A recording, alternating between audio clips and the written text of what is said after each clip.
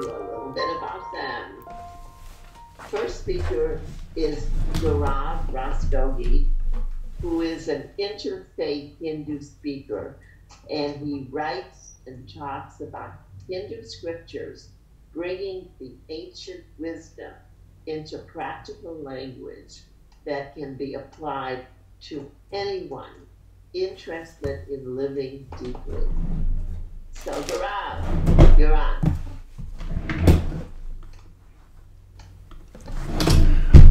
Namaskar. Thank you, Ruth. And um, hello to everyone, each one of my friends here. So good to see everyone.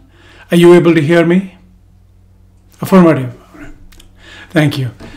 Um, I wanted to begin with a prayer for this season. Uh, it's that time of the year.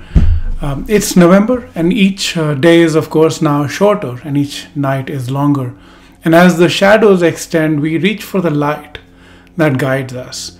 This weekend is the first moonless uh, night night of the season. This Saturday, and we celebrate in the Hindu tradition uh, Diwali, which is a celebration uh, uh, of the light within, as well as the, it's the festival of lights. We celebrate by lighting. Um, um, candles, but they're they're made they're well they're all they're, they're not wax candles, but here we use wax candles. But essentially, lay out lights in a in a sequence, and uh, and just like a chain around the house, and uh, celebrate the darkest night of the year with lights. Uh, we call it Diwali, and it's a time for rebirth, and it is also a time for to think about the meaning of material life itself. And so I wanted to chant for you this famous Upanishad. It's a verse from Hindu scripture uh, it's one of the oldest scriptures. This is the Brihad, Aranyaka Upanishad, which is the great wilderness lectures. And I'm going to chant it for you. So um, it does. It's. Uh, I'll, I'll also describe the meaning later, so you're able to follow along. For now, just sit comfortably in any posture. You can sit as you're sitting, but sit with your back straight, your back, neck, and head in a straight line. Close your eyes gently and relax the expression on the face. Relax your shoulders. Relax your belly. Now bring all your attention into the belly. As you inhale, let the belly expand. As you exhale, let go. Inhaling into the belly and as you exhale, let go of all your thoughts, all preoccupations, any concerns that you walked in with. Just let everything go. Breathing into the belly, let the belly expand. Breathing out, simply let go. I'm going to chant Om once, then I'll chant the, the uh, verse, then I'll describe the meaning to you. You can keep your eyes closed.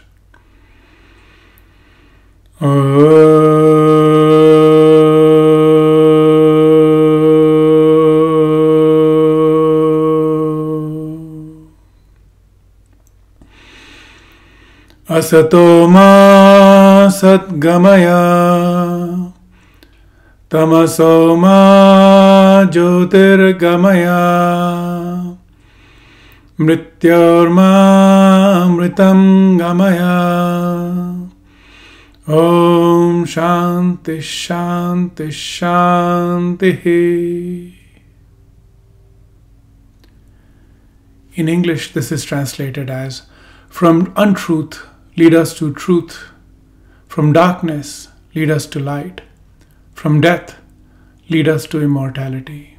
Om, peace, peace, peace and welcome to today's conversation. Uh, the topic today is really interesting. I had a lot of uh, fun researching it and just collating my thoughts because uh, I was looking for something that makes it a compelling story and something that is uh, enjoyable to hear. And uh, what's enjoyable if there's no disagreements or differences of opinion? The topic today is How does your congregation help to bridge the different political or social justice views within it? and uh, and so using the uh, the idea of social justice, I went back to read up on what social justice issues we really do care about these days, and four stood out as things that we there, there's a lot of conversation within the community, uh, the wider community here in the U.S. about it, and um, why not think about how the Hindus are thinking about it and what, if any, are the differences of opinion within the broader Hindu community on these issues.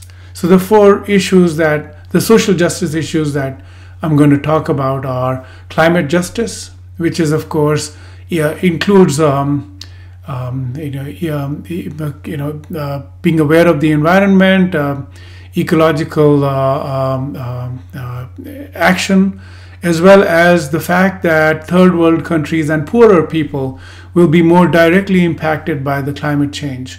And so climate justice is really about um, balancing that. So climate justice is a hot issue, uh, pun unintended. It just came to me. I apologize. the second is uh, transgender and LGBTQ plus issues, which is dealing with uh, you know issues of homosexuality as well as transgenders. The third is refugees, which is an issue of, of tremendous concern, of course. Uh, and, and the fourth is a social justice, and specific to Hinduism, of course. Uh, I would be remiss if I don't talk about the caste system because everyone wants to hear that anyway. So we'll cover that. Uh, let's begin with climate justice. And I notice uh, there's a Salman Khan on this call, which is fantastic. Sir, I'm not referring to you in this story. I'll tell you a story. So 20 years ago, um, this uh, famous movie star, uh, Salman Khan, not the gentleman on this call, by the way. Uh, so Salman Khan is one of the three or four big Khans that are famous actors in, in, in India. Their movies come out, they sell, they sell out. They, it's the equivalent of launching their your movie on Thanksgiving or Christmas. The movies sell out. Super uh, famous movie stars. So he's out in the Indian deserts, which is also in India on the west side of India and um, he goes out hunting, hunting because it's apparently what one does.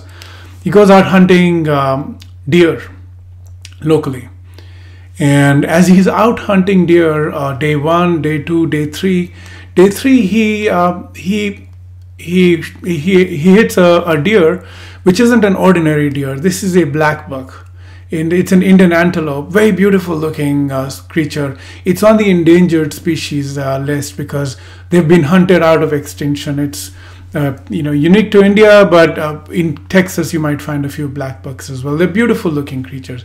So anyway, Salman Khan uh, allegedly is out in a jeep uh, and he shoots a black buck. But next thing you know, three men on a motorcycle come by and they gave chase and they they try to catch them they don't they don't catch up eventually they take the number of the the jeep and they register a police case and uh, what's interesting about the three men on the bike was they were not just ordinary regular villagers they were regular villagers but there was nothing ordinary about them the interesting thing about them was um, they, were part of a hindu sect uh, called the Bishnois Bishnois literally means the 29ers. Think of it as 2 9. And this sect has 29 rules that their founder gave them about 500 years ago. And they're all about eco conservation. Because they're in a desert, eco conservation is a big thing. And the black buck is extremely dear to this community. So dear that they raise black buck children just like their own children. If you look at you know look up the, on the internet you see women that are feeding child on one side black buck on the other side both uh, uh, sucking at the teat so they they're really fond of the black bucks. They treat them as divinity. And for them any any tree being cut or any black buck being being uh, uh injured is um, is is is terrible. And so these poor villagers against the might of india's you know reigning movie star um, is a story that a movie should be made about but wouldn't be. These guys then register a case, and as you'd expect, money wins even in India. So, so they lose the case, they fight at the higher court and higher court. 20 years elapse, and they go all the way. Eventually, the high court says, "Look, eh, there's no proof that the bullet that killed the black buck came from this guy's gun." It sounds like a cop out, But the point was that they pursued the case, and finally, I think he has a you know he has a, uh, um, a jail term waiting for him at some point in the future. The point is there is a sect of Hinduism that actually is um, is, um, is, a, is a very strong eco-conservationist, but they're not alone. Um, there's another community in the northern parts of India where, if you've heard the term tree hugger, uh, the term tree hugger originally comes from these people where uh, the mountains were being eroded, the forests were being cut, and a company that makes tennis rackets in the 1970s for, for sale here uh, had the had a contract to cut 300 trees, and these uh, the women in this community decided we're not having any of this, so they tie themselves to the trees. So it's called Chipko Andolan, and there are these very moving pictures of poor village women uh, who, are, who are essentially tied to the tree because they're not going to let the trees get cut. The trees did not get cut. The movement and the trees both survived, and ecofeminism is a big deal uh, in that. But neither of these are actually unique to you, you know, some quirky sects of poor Hindu people um, at all. Hindus in general tend to be uh, eco-conservationist. Uh, when we do our prayers, we um, we tend to uh, um, pray to all the five elements, and in that sense, uh, there's a very active interest in eco-conservation. And so within the Hindu community on the social justice issues, there's really not much uh, range of differences of opinion where one sect says, you know, drill baby drill and the other sect says, no, no, no cutting trees. Generally speaking, Hindus are tend to be um, on the uh, progressive end of the eco-conservation side uh, when it comes to protecting the environment. Uh, so that's one story which I thought was interesting. Uh, let's talk about um, um, uh, homosexuality. So it turns out uh, India inherit India and a lot of British colonies inherited British common law and British law in general. So if you look up Section 377, it's common to all these countries where all their civic laws have a Section 377, which in the 1800s, Victorian morality, of course, they outlawed homosexuality and uh, and the same Victorian morality is, is all over. And in 2018, uh, the courts finally struck down this as being illegal, and because it's of course illogical. So um, the decriminalization of homosexual relations is um, is a very touchy subject. And I remember, and by the way, everything that you do eh, with the Hindus, thanks to the overwhelming impact of Bollywood. Uh, the coping mechanism for everything in India is that you make a movie about it. So there used to be movies poking fun at um, homosexuality in a light. These are rom coms or bro coms in the sense that it's just the nudge nudge, wink wink, wink wink kind of thing. So when this outlawing, when the 377 section 377 was cancelled, the way the Hindu uh, community reacted was a lot of silence. You know, the religious community wasn't out putting out edicts saying, no, no, this is ridiculous, it's a crime against uh, God. Or there's none of that system in the Hindu tradition. Uh, there's been a lot of acceptance, and of course, as you'd expect, a coping mechanism is now there are other comedy movies made about homosexuality, but in a different way, not the nudge nudge wink wink of 20 years ago. Uh, there is some controversy within the Hindu tradition, quasi controversy on whether the marriage itself uh, is something that um, that should be done in a religious framework or a civil framework. And and some people say that there's no need for a religious framework for marriage because that's to have children. Uh, you should have a, a marriage for civil, uh, you know, for property rights and insurance purposes and so on. That's all legit, but on the uh, the uh, religious side, it's probably not required because you're not going to have kids from that union. You can, of course, adopt. So within the Hindu tradition on homosexuality, there has been broader acceptance. On LGBTQ that's quite interesting because Hinduism in general has been non-binary uh, from the inception. So we we do recognize a third gender. Uh, we've always recognized a third gender, and and what's happened now is as we're letting go of the British sort of Victorian era rules and, and laws, Uh, there's a broader acceptance of third gender people within the Hindu community. Um, they, uh, in fact, recently, the uh, one of the states in India uh, launched a, a, metro station which is now called Rainbow Rainbow Station, and it's of course it's celebrating uh, the third gender. And there's a whole university that's been created just for um, people that are of the third gender. Uh, because previously they were not able to get jobs or they were not able to get uh, education and employment. So, in general, there's acceptance of homosexuality as well as um, LGBTQ plus uh, issues. There's, of course, cultural pushback, as you can well imagine, that culturally it's not accepted, but younger, more modern people are accepting of it, and it's all uh, all. Um, um, there's no religious uh, sort of problem with it in in that sense. So let's come to the next issue, which is the issue of refugees, which isn't a modern issue by any means.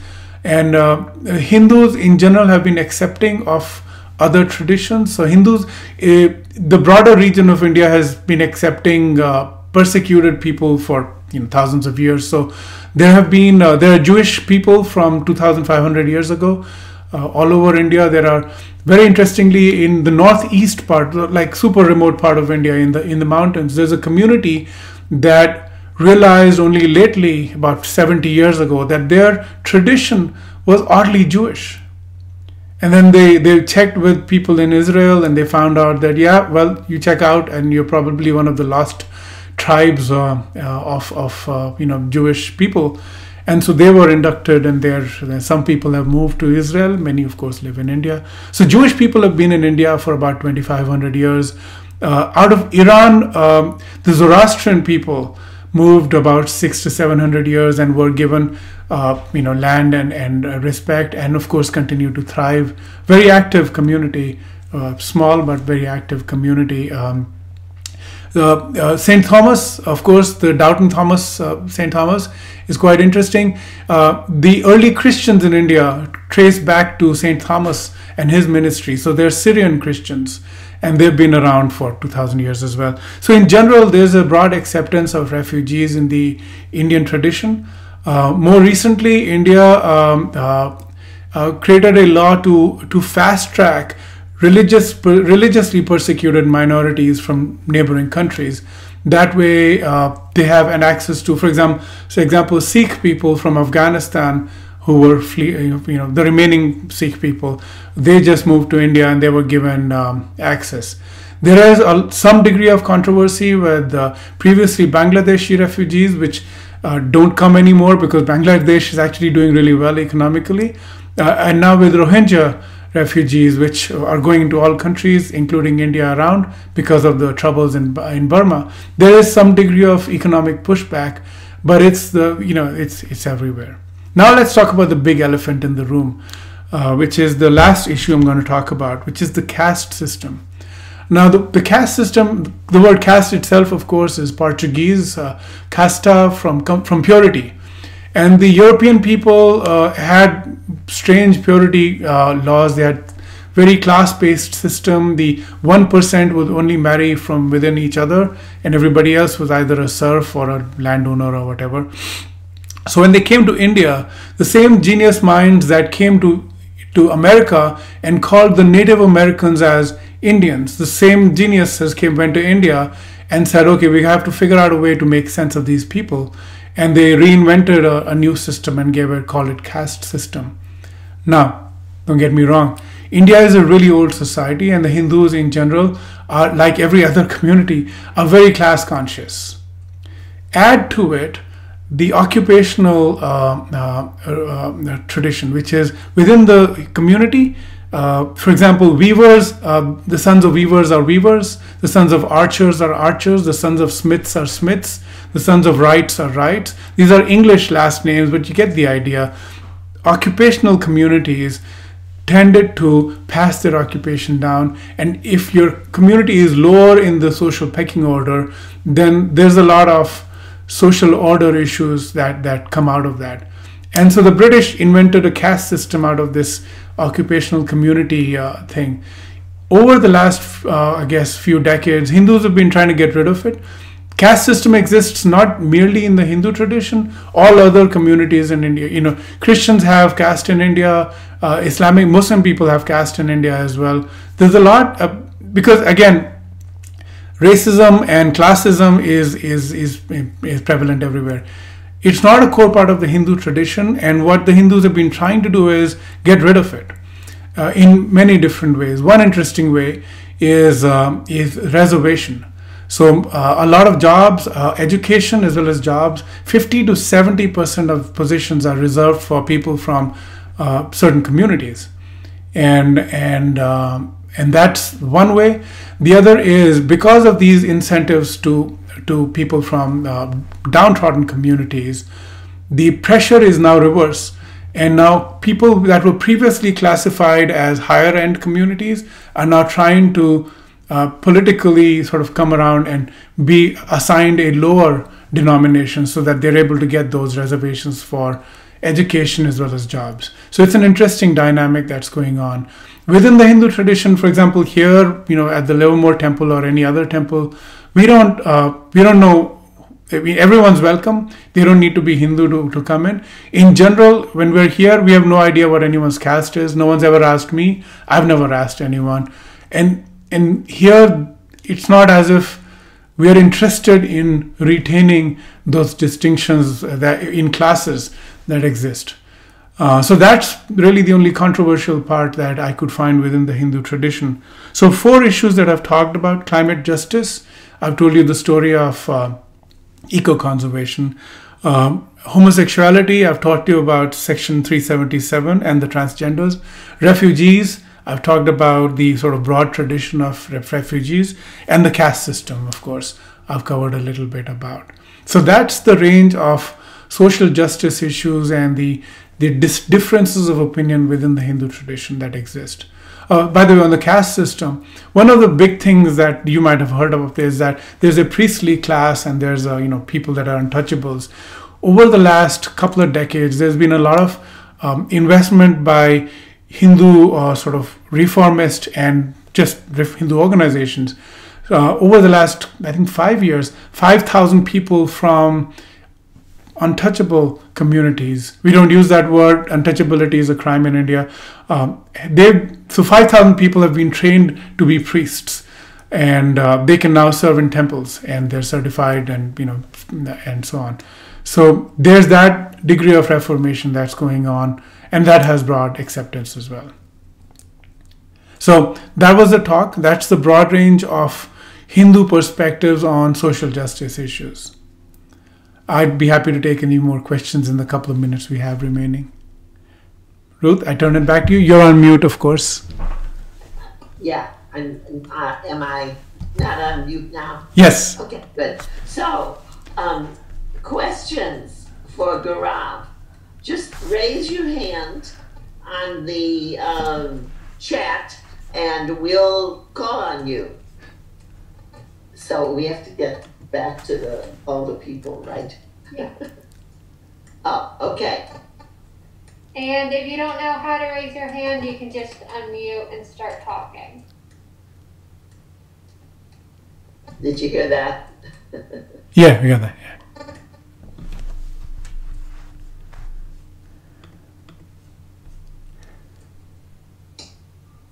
Rob, I have a question. Yes, Imam. Hi. How are you, sir? Very well, thank you. You mentioned about uh, an effort to, uh, or yeah, efforts to kind of uh, end or effort, yeah, efforts to end the caste system. Uh, what does an end goal look like in that, right? What what so so it's one as in right. So, so we talk about it, teleos, right? So the end. What would that what would that look like? What would it bring India to as a as a country? And you mentioned that from the Portuguese uh, roots. Is is it is it solely from that, or is there an aspect? I think you did say that there is also a, a, a kind of a class system that existed inside of uh, you know the hierarchical system that existed inside of, of Hinduism as well. Sure. Yeah. Yeah. Uh, so uh, the uh, what's happening now is. Uh, so there's a lot of, of course, vote bank politics that India is a thriving democracy. And the interesting thing there is there's been a lot of vote banking where you, you sort of you make a little Venn diagram, then you make a smaller circle, and you own that circle. Then somebody else makes a smaller, yet smaller circle inside. So there's a lot of social justice issues that uh, masquerade or that are over overwhelmed by by uh, these vote bank politics. And the big drive there is you can't really govern by vote banking uh, smaller bits. You're going to have to look for issues that everyone's interested in. So politically, what I see happening is there's been a drive to create broader platforms around the economy, for example. So India's made what 120 million, 110 million toilets uh, because people didn't have toilets, for example. Uh, and so just bread and butter issues so that people are more interested in those instead of you know who their community is and what their neighbor is because those issues are not germane to a modern society. And that's what's going on on that front. The emphasis on education has definitely been a, a, big deal. Where, if you look at the IT people that come from India, um, off late, right? I mean, I came as part of that boom, so I can speak for uh, that. Uh, no one really cares what community you're from. You've done your engineering, you're in IT, go get your thing. But what happens with that is each one person that's in the IT business, for example, feeds 10 other people in the community because the whole community gains out of that. And that changes the dynamic. So there's a lot more interest in engineering, for example, as a career option because you can go past, you can leapfrog, you know, hundreds of years of subjugation by just, you know, four years of engineering. And that's been a big change. And now, of course, other occupations as well. So I think broadly the end goal is, is really look, uh, is to get to a point where people are focused on economic development and cultural and spiritual development instead of uh, being in a sort of regressive medieval mindset because that's not helping anyone in that sense. Smaller divisions are not going to help uh, all of us pull together. Yes, Ruth. Um, I'm interested in uh, your education system. Is uh, education free for everybody, or do people uh, who are rich get better education than people who are middle class or poor? How does it work? Yeah, that's a great question. I, I have to tell you, the education system in India is is terrible. I say say that with no sense of irony because I'm here as a result of that but I'm, I'm an exception to that. Uh, the education system in India was designed by the British to create civil servants, so clerks, people who could write and scribe, uh, not thinking, not not liberal arts, uh, uh you know, sort of uh, civic leaders kind of thing. So it's a it's a system that's designed for rote learning, repetition, and mastery of memorization of facts rather than an ability to to to, to think and reason and argue uh, and that's been a problem. That's one problem. Now, your question is do rich people go to better schools? Yeah, I went to a Christian school. Uh, because of course those are private schools, and I, I have I've had a Christian education all through my uh, my my schooling, as a result of that. Um, so yeah, uh, rich people do go to private schools. Private schools are, of course, they charge more and they're better. Uh, public schools are getting better, so there's a sort of left-leaning socialist type government in Delhi, which is the city I grew up in, and they're doing a lot of investment into improving the quality of public schooling. Which uh, I don't, I should say, public schools. When they say public school in India, it, those are private schools. Government schools are public schools, but never mind. So so public schooling is generally low quality, but they're trying to improve it. Paucity of teachers is a problem. Huge country. You can't and lots of young people. You don't have enough good quality teachers because everyone's a product of the same rote learning system that came by. Higher education however is actually good in india and, I, and it's super cheap. I did my entire engineering in the equivalent of let me see $70 over four years is probably all i paid and uh, it's highly subsidized um, you could pay for private but public education is very cheap. I did my MBA at India's number one program for maybe a thousand dollars of modern money. It wasn't expensive. and uh, and that's the relic of the socialist uh, sort of economy that India had been for the longest time. Now there are private uh, education institutions, and a, a lot of kids come here to the U.S. for their masters because they really want to get a better, longer, sort of deeper education. So poor people in general, Ruth, your question is, poor people do not have access to high quality education. They have access to government education, which is free, but um, it's, it's not it's not really uh, great quality. Okay, so uh, Rashma has, did I say that correctly? She has her Yes. hand up. Okay, so you're gonna go and then John and Wendy. Um, hello, thank you so much for your, the information. Um, Sorry, I'm trying to see who's talking uh, so I can actually look at your face. Sorry. hold on, let me, let me, uh, let me see if I can, uh, hold on. hold on. Let me just see if I can do that. Oh, Reshma, yes. Hey, Reshma. Hi, yes, I see you.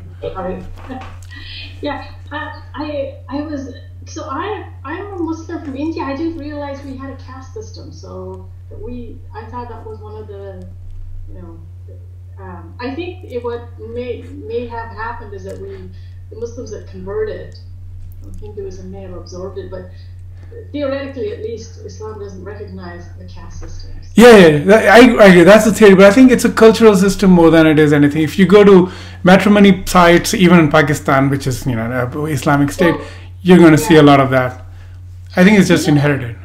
Yeah, it's a really racism because usually when you go to matrimony sites, it's usually are you slim. Totally, yeah, yeah, yeah. Yeah, and uh, for example, if you speak English in India with a particular accent, then you're higher order human than someone who speaks with an accent because then you're, you know, a lesser species of humanity, I guess. So there's a lot of, uh, you know, classism that goes on in India. Every community has that. Yeah. Uh, John and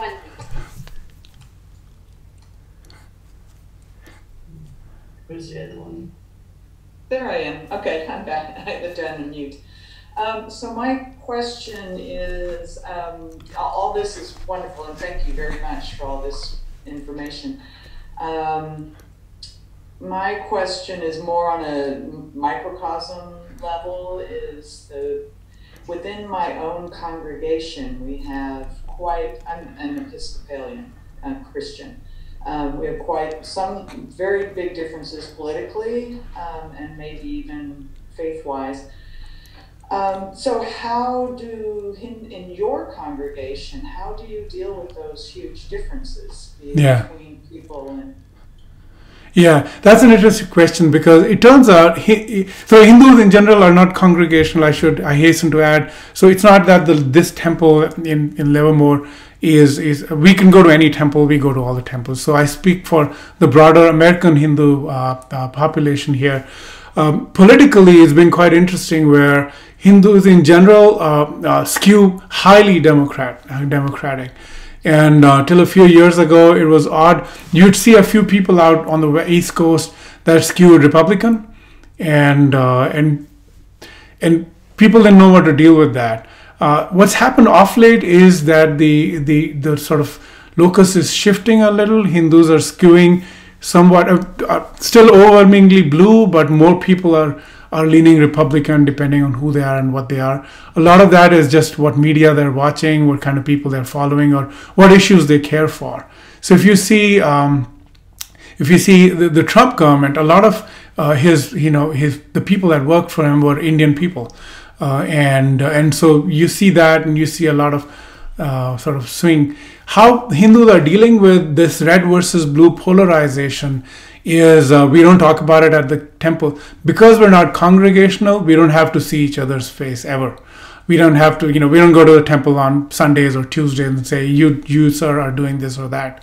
We just don't. So because we don't have to see each other, there's really not that much argumentation. You can do your own thing and uh, run your own uh, platform, and it doesn't invite as much uh, trouble. You can meet each other for festivals, and it, there's not much issues there. Debates don't happen within the community, which is part of the challenge where of organizing Hindu voters. Because how do you tell them where to vote? They're going to vote whichever the way they individually feel. Um, and that's just how this community is organized. but politically uh, overwhelmingly Democrat, now beginning to shift a little bit uh, to the. If you look at political uh, leanings, the Hindus tended to be the most blue of all communities in the U.S. You just outright like majority blue. But that is shifting a little, as you'll see also with the Latinos that are shifting a little towards Republican, a certain type of Latinos, for example. So that's the interesting shift. But it hasn't created a schism in the community, if that's your question. It's not as if people are screaming at each other and uh, and are vilifying each other. That hasn't happened because we don't see each other at the temple as much. Okay, so we have time for one more question, and that's uh, Santi. You've had her hand up for a while. So, Santi? there you go. Yeah. Hey, Shanti. Hi, good evening. Uh, good evening. Yeah, I'm in India now, so it's six, seven o'clock in the morning. So I just wanted to share along with Gaurav's thought, I mean, his uh, speech on education. So the one huge difference I see uh, education in India and US is there is not much of cost difference from public to private schools. Uh, in fact, and also uh, my medical education, he finished his engineering in uh, Gaurav, he finished engineering in seventy dollars. My whole um, uh, medical education finished in two hundred dollars Yeah. versus three hundred and fifty thousand dollars in US, right? So we came to like no, yeah, to improve my skills. I came abroad, but I'm back to India to serve my community also here. So I- think education is a huge cost in US, but in India also compared to the time I did my uh, undergrad and postgrad medicine, now it's become uh, a little more uh, expensive. But as such, education is um, not that expensive compared to uh, Western countries, even in private schools. And I studied in private schools mostly, but uh, just on merit basis, my father gets admission. I don't pay extra fees. Yeah, so that's my uh, input. Yeah. Thank you. Uh, thank you. So I, I'm going to uh, end Gaurav's time and Thank you. Well, uh, and, and I, I want to say thank you very much, and we're, I'm going to clap. Thank you, Gaurav. Thank you very much. And I to go on to our second speaker, um, who is uh, Dawood Yassin, and I have a little information about him. He spent five summers teaching Arabic language at the Zaytuna Summer Arabic Intensive. Dawood has worked with colleagues to establish learning outside of the classroom program at Zaytuna College, which includes service learning trips and a revival of traditional athletics found in swimming, archery, and horseback riding. That sounds like a lot of fun. Okay, Dawood, you're on. Thank you, Ruth. Bismillah ar-Rahman I begin with the name of uh, Almighty God, the compassionate, the